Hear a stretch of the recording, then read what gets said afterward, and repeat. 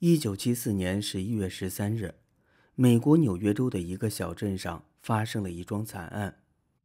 一个荷兰殖民风格的房子里住着一家六口人，分别是父母、一对姐妹和一对兄弟。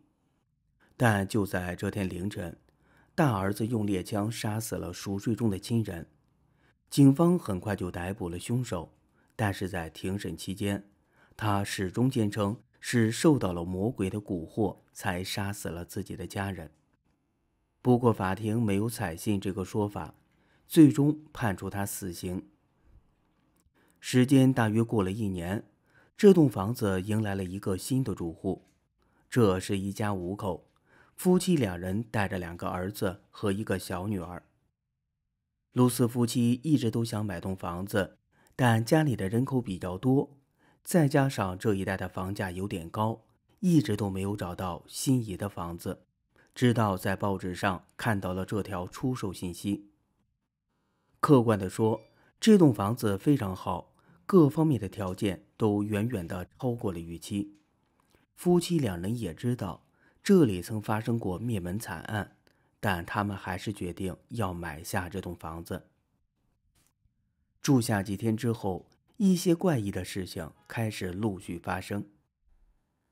某天晚上，两口子正在亲热的时候，丈夫乔治看到床前突然出现一个人影，一个小女孩吊在屋顶上，伸着舌头，就像是在上吊。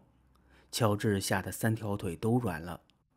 老婆凯西扭头去看时，房子里空荡荡的，什么都没有。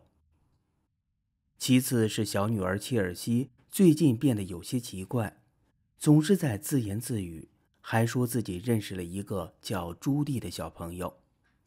这种事情倒算不上奇怪，因为小孩子经常对着布娃娃说话，所以凯西并没有太当回事儿。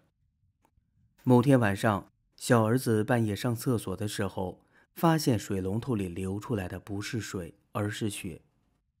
同样是在这天晚上，乔治醒来后。无意间往院子里看了一眼，河边有个放船的房子，而小女儿居然在往屋顶上面爬。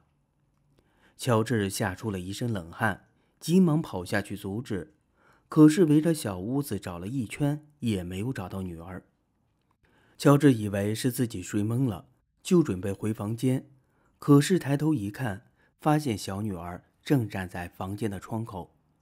身后还站着一个小女孩，正是那天晚上挂在屋顶上自杀的小女孩。乔治吓出了一身冷汗，急忙冲进女儿的房间，却发现切尔西安安静静地躺在床上，正在睡觉。刚才的一切还是错觉。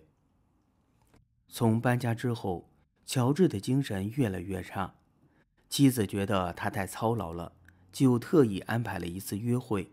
还请了一个保姆照看三个孩子。没想到的是，这个保姆把发生在这栋房子里的惨案当成了鬼故事，绘声绘色地讲给这三个孩子听。而故事刚讲完，怪事就发生了。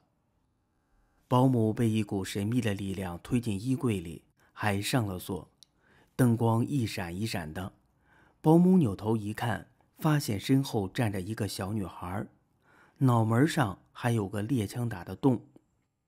等乔治夫妻赶回家里时，保姆已经吓得神志不清了。从这一天开始，乔治的性情大变，变得暴躁易怒，精神上有些恍惚，经常因为一些微不足道的小事大发脾气。这天晚上，乔治躺在浴缸里泡澡时。似乎又出现了幻觉，有一双手从水里伸出来，抱着他的腰，按着他的头往水里面拉。乔治拼命的挣扎，马上就要窒息了。幸好妻子及时赶到，把他从水里拉了上来。第二天，妻子带着乔治去看医生，经过一番检查，发现他的身体机能都很健康。而医生怀疑他的精神可能有问题，建议他去看看心理医生。一波未平，一波又起。夫妻两人刚从医院里回来，却惊恐地发现小女儿爬上了屋顶，正沿着窄窄的屋檐走动，稍不留神掉下去，小命就没有了。当妈的匆匆忙忙地爬上屋顶去追，当爹的在下面接应，好在有惊无险，成功的把小女儿救了下来。这起风波之后，乔治愈发没有耐心了，索性一个人搬到地下室里去住。凯西隐隐觉得这栋房子有问题，它可能是导致一切问题的根源，于是找到教会，向一个神父求救。第二天，神父来到家里，他进门就看到一件诡异的事情：小女儿怀里抱着的布娃娃是上户人家的女儿最喜欢的玩具，早就跟着一起下葬了。现如今，她却诡异地出现在这栋房子里。提醒完毕，神父穿戴整齐后就准备施法布道。可就在此时，通风口里飞出来一群又一群的苍蝇，对神父展开了疯狂的攻击。神父抵挡不住，吓得落荒而逃。凯西吓得惶恐不安，去图书馆调阅了当年的新闻报道，越看越心惊。家里发生的一切。和当初那家人的遭遇非常的相似。此外，他还发现一个秘密：这栋房子的前身是一个囚禁所，有人在地下室里虐待屠杀印第安人，这里寄居着很多阴魂不散的亡灵。弄明白真相之后，凯西匆匆忙忙地赶回家，想劝说丈夫赶紧带着家人离开这里，但是乔治已经被鬼魂控制了。他亲手打造了几副棺材，准备付诸行动，把一家四口都装进去。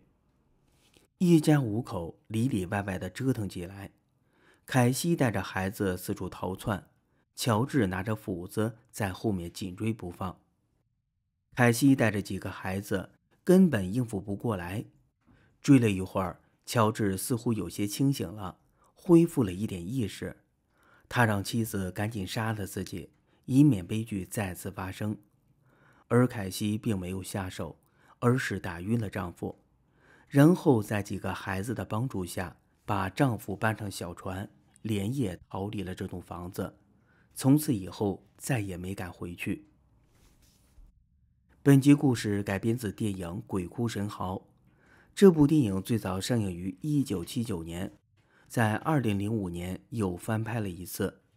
由死侍的扮演者小贱贱担任男主角，感兴趣的朋友可以看一下。